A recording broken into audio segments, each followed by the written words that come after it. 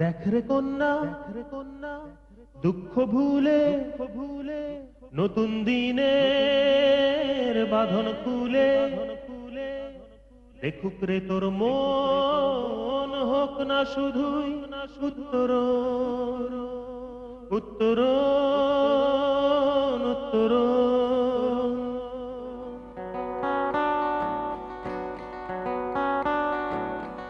শোন রে কন্যা কাজের ফাঁকে কাজের ফাঁকে নতুন ভোরে সূর্য ডাকে ডাকে শুনুক রে তোর মন হোক না শুধুই উত্তর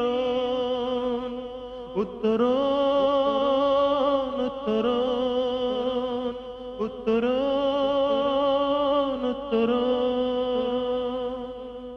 we want that kind of literacy, that kind of education. Which will help the child or the learners to know their uh, own iron- environment better, to know their own position better, so that it can be integrated with their life. It does not harm, you know, their harmony or their way of thinking. The worst thing is to go to literate because he does not know or she does not know. Knowledge and literacy are different. In India, there may be illiterate persons that very civilized, very sophisticated. They know about epics and this and that, plenty knowledge about nature, um, nature's working, things like that. So it's very wrong to think that they know nothing, we are going to teach them. Actually, we who go to teach, people like us, they know nothing. Until and unless there is a full bond of respect between the teacher and the learner, they are on the same level. No literacy program can become successful. Education has been has to be taken to the door of women with respect, respecting her hours. As you, when you come to me, I tell you, I can't give you this time. You agree to it. You accommodate my time. Their time also has to be accommodated, and they also also get the same respect as you people are giving me all the time. খুকি খুকি যাই বাবা একটু জল দে তো মা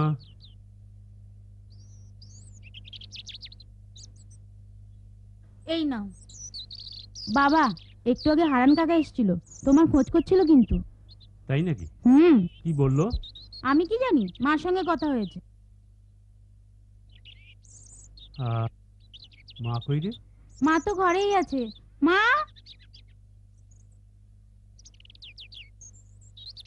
নাও।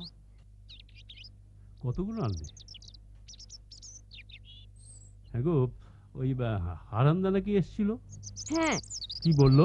এই তুই ঘরে যা তো।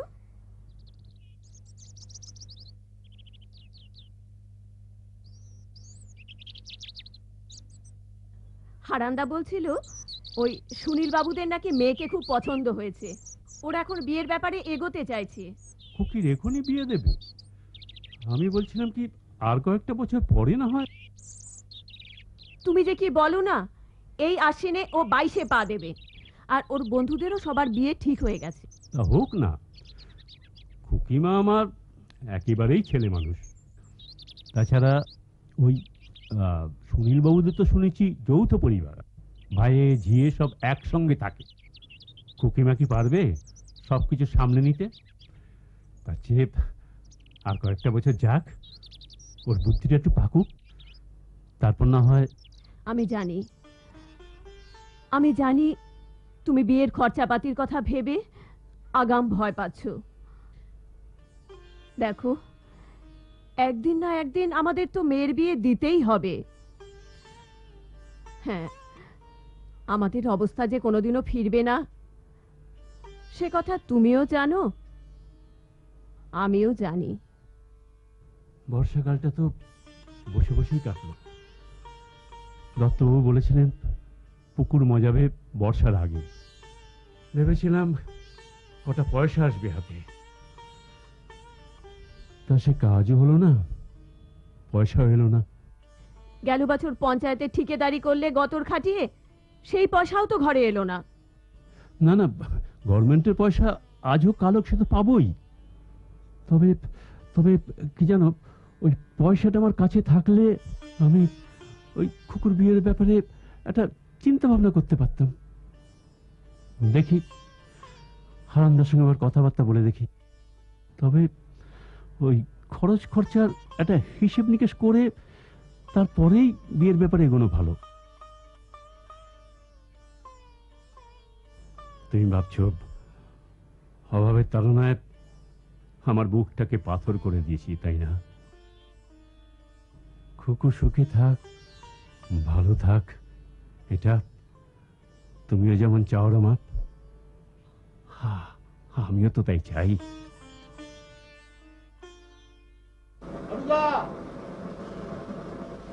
বিস্কুট খাবি? না। দোকানের সব বাঁধা খদ্দের সব ধারে খায় বুঝলি? হ্যাঁ, আজ দেবো কাল দেবো বলে টাকা দিতে চায় না। দোকানের সামান্য রোজগারে আমার কোনো রকমে চলে। এর মধ্যে তোকে কাজ দেবো কেমন করে বলতো? আমার কপালটাই খারাপ আনন্দা ন মাসে ছ মাসে একদিন দিন মজুরি জুটে। তারপরে যা টাকা পাই সংসার চালাতেই বেরিয়ে যায়। হাতে কিচ্ছু থাকে না। আর এই গভর্নমেন্টের ঠিকাদারি সেও তো টাকা খালি জমেই যাচ্ছে। কবে পাবো জানি না। কি ব্যাপার? মা মেয়েতে মিলে কি করছ? এসো এসো যা চট করে আসনটা নিয়ে আয়। ওকে যেতে হবে না। এত সুন্দর মেঝে থাকতে আসনের কি দরকার? আচ্ছা তোমাদের ব্যাপারটা কি বলো তো? হুম? পালা করে একেবারে সাক্ষরতা কেন্দ্রে ডুব দিচ্ছ? কি ব্যাপার? দুপাতা পড়তে শিখলে আর দু লাইন লিখতে শিখলে ব্যাস, সব শেষ? তুমি তো জানো আমাদের সংসারের অবস্থা। গোটা বর্ষা তোমার দাদার হাতে কোনো কাজ নেই। এখন এদিকটা সামলাবো না ওদিকে যাব, কিছুই বুঝে উঠতে পারছি না। দেখো রমাদি, তোমাকে কয়েকটা কথা বলি। তোমার স্বামীর যা কাজ, তা প্রকৃতি নির্ভর। খানিকটা অনিশ্চিত বটে। এটা কিন্তু তোমাদের ভালো করে বুঝে নিতে হবে। আর আরও একটা ব্যাপার আছে। তোমাদের হাতে যখন কাজ থাকে মানে কিছু টাকা থাকে তখন তোমরা ভবিষ্যতের জন্য সঞ্চয় করো না কেন? সে আর কটা টাকা দিদি? ওর মধ্যে থেকেই সঞ্চয় করতে হবে যেমন আর সকলে করে।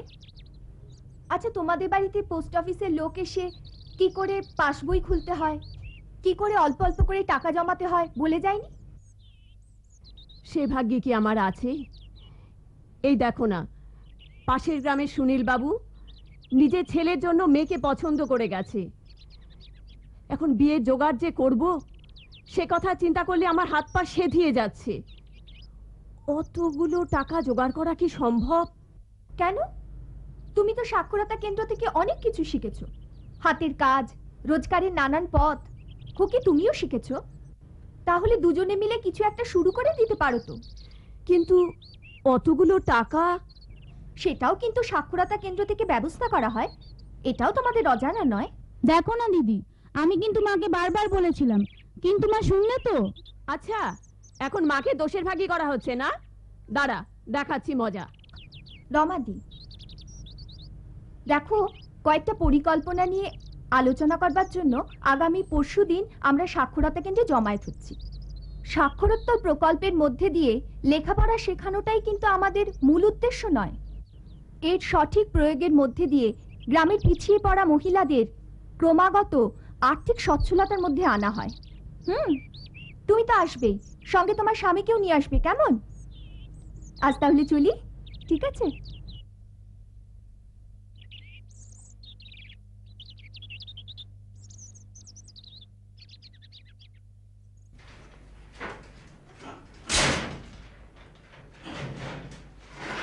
আস্তে আস্তে রাখো ভাই।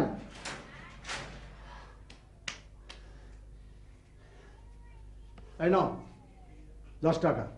এ কি? কোথার থেকে এতগুলো মাল নিয়ে এলাম? এত মজুরি মাত্র দশ টাকা? আহ, তবে কি একশো টাকা দিতে হবে নাকি? শোনো ভাই আমাদের একদিনের কারবার নয়।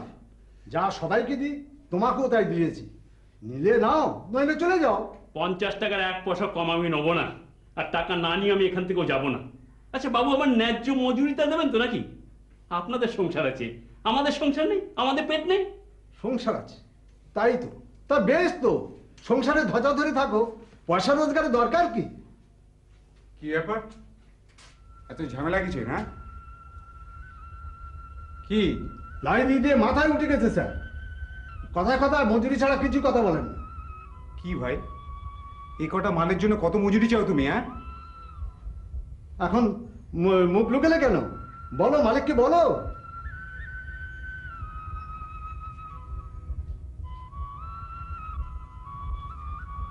কি? আপনি? আপনি একে চেনেন নাকি স্যার? হ্যাঁ। হ্যাঁ হ্যাঁ। এ পরেশ যাও তো চট করে মিষ্টি নিয়ে এসো। মিষ্টি? হ্যাঁ। আপনি কিছু মনে করবেন না। আপনি আসুন। দোকানে আসুন। না না আমি আমি আর চলি না না। এই বললে হয় এই প্রথম আপনি আমার দোকানে আসলেন আর এসে চলে যাবেন সেটা হতে পারে না। আসুন। আসুন। বসুন বসুন। কোনো সংকোচ করবেন না। আপনার অস্বস্তির কোনো কারণ নেই।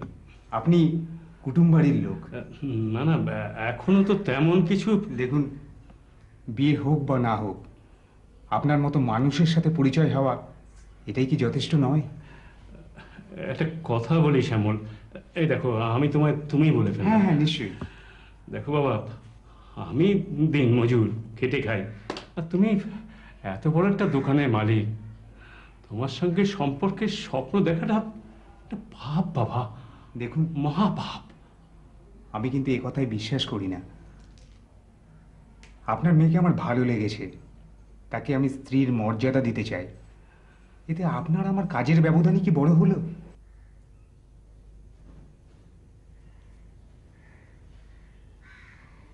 বলেছিলাম না? ছেলে হিসেবে শ্যামল কিন্তু খুব ভালো।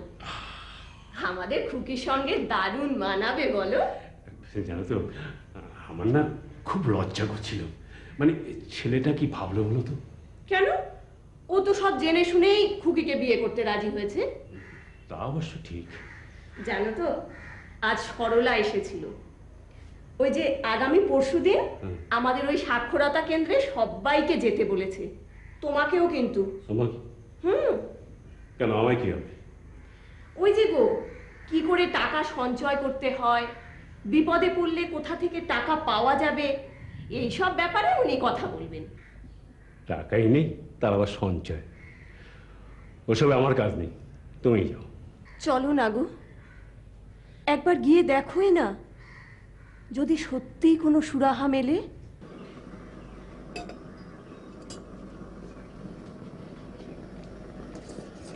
হারান্দা আমার সুনীলবাবুর ছেলে শ্যামলবাবু পাঠিয়েছেন। কি বাবা এই টাকাটা আপনি বিশুবাবুকে দিয়ে দেবেন শ্যামলবাবু পাঠিয়ে দিয়েছে টাকা? কিসের টাকা? এটা দিলেই উনি বুঝতে পারবেন। আচ্ছা চলি হ্যাঁ?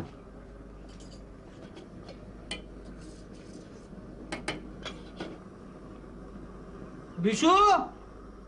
আরে ও বিশু! কি হলো আনন্দা? ডাকছো কেন? কি ব্যাপার হ্যাঁ? আজকাল জামাই শ্বশুরে লুকিয়ে লুকিয়ে পয়সা করে লেনদেন চলছে। তুমি কি বলছো আমি তো ঠিক মতো কিছু বুঝতে পারছি না? শ্যামল হ্যাঁ। এটা পাঠিয়েছে। ওর ম্যানেজার এসে দিয়ে গেল। কি মা? ছি ছি ছি ছি ছি ছি। কালকে আমি ওর দোকানে যে মাল নিয়েছিলাম তার মজুরির টাকা পাঠিয়েছি। বিশু এই ছেলের সঙ্গে মেয়ের বিয়ে দে। যে করে হোক টাকা পয়সা জোগাড় করে এই পাত্র হাতছাড়া করিস নি আজ আমরা জমায়েত হয়েছি কয়েকটা ব্যাপার নিয়ে আলোচনা করবার জন্য। সঙ্গে আছেন আমাদের গ্রামীণ ব্যাংকের ম্যানেজার সাহেব নিরাময় বাবু। নমস্কার। কিন্তু দিদিমণি ঋণের ব্যাপারে আলোচনা তো আমাদের এই সাক্ষরতা কেন্দ্রে আগেও হয়েছে। ম্যানেজার বাবুর পরামর্শ মতো বিভিন্ন কাজের জন্য ঋণও তো পেয়েছি আমরা অনেকে। না না ব্যাংক ঋণের ব্যাপারে আজ কোনো আলোচনা হবে না। আজ আলোচনা হবে সম্পূর্ণ নতুন একটা ব্যাপার নিয়ে। কল্লোলদা তোমাদের বই। মনে করুন, আমরা এখানে পাঁচজন আছি। ক খ গ, ঘ, উম এই ক খ গ ঘ উম এই পাঁচজনের প্রত্যেকে দুশো টাকা করে জোগাড় করে আনলো। ঠিক আছে? তাহলে দুশো গুণিতক পাঁচ কত হলো? গুণিতক পাঁচ। কত হলো? কি হলো বলতে পারছেন না কেন? চারশো টাকা? না ঠিক হলো না। ঠিক করে হিসাব করে বলুন। হ্যাঁ ঠিক বলেছি এক হাজার টাকা। তাহলে দুশো গুণিতক পাঁচ হলো গিয়ে এক হাজার টাকা। এখন এই এক হাজার টাকা আমরা যদি স্থায়ী আমানত হিসাবে ব্যাংক কিংবা ডাকঘরে জমা রাখি, তাহলে প্রায় সাত বছর বাদে এই এক হাজার টাকা দ্বিগুণ হয়ে যাবে। অর্থাৎ দু হাজার টাকা হবে। কে? ঠিক আছে? পরের মাসে এই পাঁচজন ছাড়াও আরও দুজন দুশো টাকা করে নিয়ে এলো। সেটাও আমরা ব্যাংক কিংবা ডাকঘরে স্থায়ী আমানত হিসাবে সঞ্চয় করে রাখলাম। ফল সেই একই দাঁড়াচ্ছে। কিন্তু আমরা তো টাকা দিয়েই যাচ্ছি তাতে লাভ কি হচ্ছে? তিন মাস বাদে ধরুন আমাদের এই সম্মিলিত পুঁজির পরিমাণ যদি দাঁড়ায় কুড়ি হাজার টাকা তাহলে হঠাৎ কোনো দরকারে সেই টাকা খুব অল্প সুদে তার একটা ভাগ আপনারা ঋণ হিসাবে পেতেই পারেন। কিন্তু ধরুন এখানে আপনারা সবাই মিলে ঠিক করলেন, একজনকে সই করে টাকা তোলার অধিকার দিন। কিন্তু একলা থাকলেই হবে না, সঙ্গে আরও দুজনকে নিতে হবে। যাদের সবার সই একসঙ্গে থাকলে তবেই টাকা তোলা যাবে। এতে যেমন নিশ্চয়তাও থাকবে, আবার নিরাপত্তার অভাব হবে না। কারণ মনে রাখতে হবে, এটা কিন্তু আমাদের সবার রক্ত জল করা রোজগারের টাকা। এবং তার সম্পূর্ণ নিরাপত্তার আস্থা আমাদেরই নিতে হবে। এই প্রক্রিয়াটা কিন্তু থেমে থাকবে না। এটা চলতেই থাকবে। এতে কি হবে? মাসিক সঞ্চয়ের পরিমাণ যেমনি বৃদ্ধি পাবে তেমনি স্থায়ী আমানতের পরিমাণও বৃদ্ধি পাবে। আমাদের মনে হয় আমাদের মাসিক খরচা থেকে অল্প অল্প করে বাঁচিয়ে সঞ্চয়ের জন্য কিছু টাকা তোমরা কিন্তু অনায়াসেই জমিয়ে রাখতে পারবে। আচ্ছা দিদিমণি কেউ যদি কোনো মাসে দুশো টাকা না দিতে পারে তাহলে সে কি আর টাকা ফেরত পাবে না? তা কেন? তোমরা যখন যা ইচ্ছে সেটাই জমা দিতে পারবে। হিসেব ঠিকই থাকবে। আসলে সমগ্র আমানতের ওপর তোমাদের দেয় টাকার পরিমাণ কত? সেই অনুযায়ী তোমরা যখনই চাইবে, তখনই টাকা কিন্তু ফেরত দেওয়া হবে। আরও একটা ব্যাপার আছে, তোমরা হয়তো কোনো বিপদে পড়লে, টাকাটার এক্ষুনি দরকার। সেই সময় তোমরা যদি আমাদের কমিটিতে জানাও, আর কমিটির লোকজন যদি মনে করে যে টাকাটা এক্ষুনি দিতে হবে, তোমরা কিন্তু সঙ্গে সঙ্গে টাকাটা ফেরত পেতে পারবে। আসলে গতবারের আলোচনায় বসে আমরা তো মোটামুটি কোঅপারেটিভের ব্যাপারে এটাই ঠিকঠাক করেছি। তোমাদের সঙ্গে আলোচনা করে। এছাড়াও তোমাদের যদি অন্যান্য কোনো মতবাদ থাকে মতামত থাকে তোমরা কিন্তু আমাদের বলতে পারো। আমরা কিন্তু সাগ্রহে সানন্দে গ্রহণ করব। এবার আপনারা নিজেদের মধ্যে আলোচনা করে তিনজনকে ঠিক করুন। কোন কোন তিনজন সই করে টাকা তুলতে পারবে? মনে রাখবেন এই তিনজনের মধ্যে একজন কিন্তু থাকবে প্রধান স্বাক্ষরদাতা যাকে সই করতেই হবে। আরও চার পাঁচজনের মধ্যে যে কোনো দুজনের সই লাগবে। হ্যাঁ তাহলে আর দেরি না করে নিজেদের মধ্যে পাঁচজনের একটা কমিটি ঠিক করে নিন এবং এই কমিটি সমস্ত হিসেব রাখবে। হিসেব রাখবে, তাছাড়া মূল্যায়ন করবে, কেউ যদি কারোর যদি ঋণ লাগে, যে সেই ঋণটা তার পক্ষে কতটা জরুরি এবং সে আদৌ সেই ঋণের টাকাটা ফেরত দিতে পারবে কিনা? মানে সুদ সমেত। যদি না পারে তাহলে তার গ্যারান্টার কারা? আর এছাড়া তো প্রতি মাসে যে টাকাটা আপনারা জমাচ্ছেন, তার হিসেব তো রাখবেই। তাছাড়া আপনারা যখন সবাই স্বাক্ষর আপনাদের নিজেদের হিসেব নিজেদেরই রাখতে অভ্যেস করতে হবে।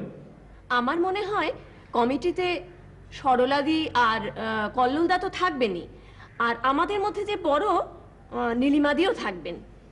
আর দুজনের মধ্যে এই বিদিশা তুই তো ভালো হিসেব রাখিস। তুইও থাকবি? না না আমি আবার হ্যাঁ হ্যাঁ বিদিশে থাক আর রত্না থাক। হ্যাঁ হ্যাঁ সেই ভালো এটাই ঠিক।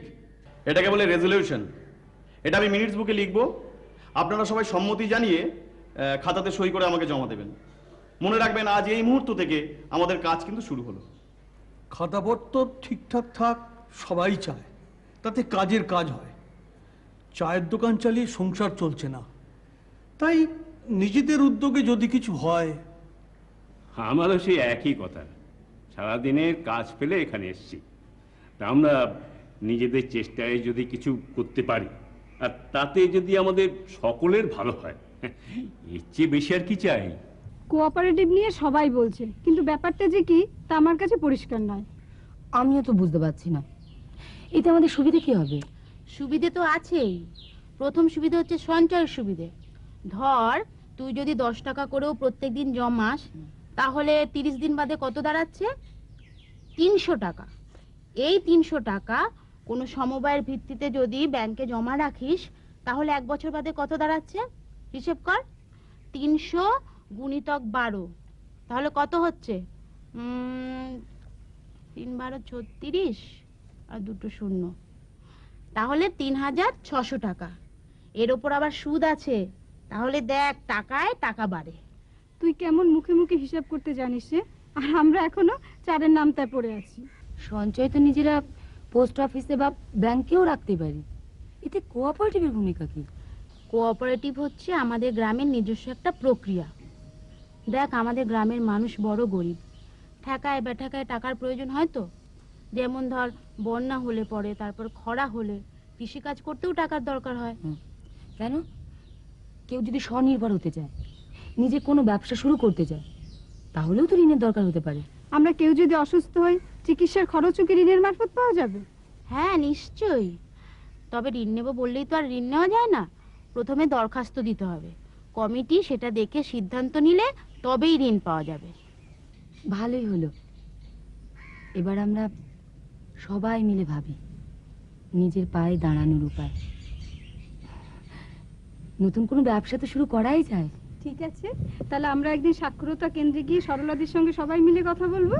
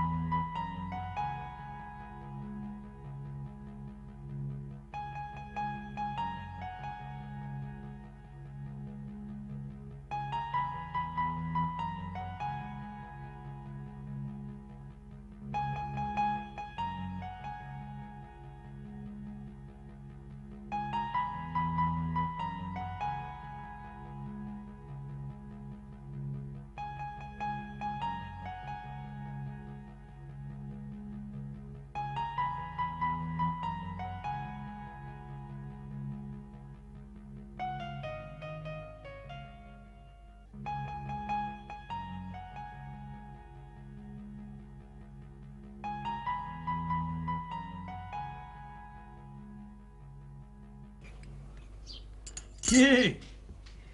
এবার তাহলে মেয়ের বিয়ে দিচ্ছ তো? সব চায়ের অর্ডার আমার দোকান থেকে যাবে কিন্তু বলে দিলাম।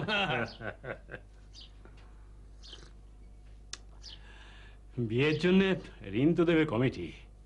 কিন্তু সময় মতো শোধ করতে পারব তো হারামদা। গ্রামগঞ্জের ব্যাপার। একটা লোক লজ্জা বলেও তো কথা আছে। তোর চিন্তা আর যাবে না বিশু। এক চিন্তা যায় তো আর এক চিন্তা আসে। চিন্তা তো থাকবেই হারামদা গতরে খেটে কাজ করি। সেই গতরটাই যদি চলে যায়। তুই বড্ড ভাবিস। হ্যাঁ, আজকেরটা নিয়ে ভাব কবে কি হবে? ভবিষ্যৎ? ভবিষ্যৎ? কি লেখা আছে কপালে ভবিষ্যৎ সম্বন্ধে? কে জানে? গ্রামে কমিটি হলো। কোঅপারেটিভ হলো। ব্যাংকে টাকা জমা দিচ্ছ চিন্তার কিচ্ছু নেই। আমি আমি হারান মন্ডল বলছি লিখে নাও। এই গ্রাম ভবিষ্যতে উজ্জ্বল হবেই। এই গ্রাম না গ্রামের মানুষ? মানুষ ছাড়া গ্রাম হয় হ্যাঁ?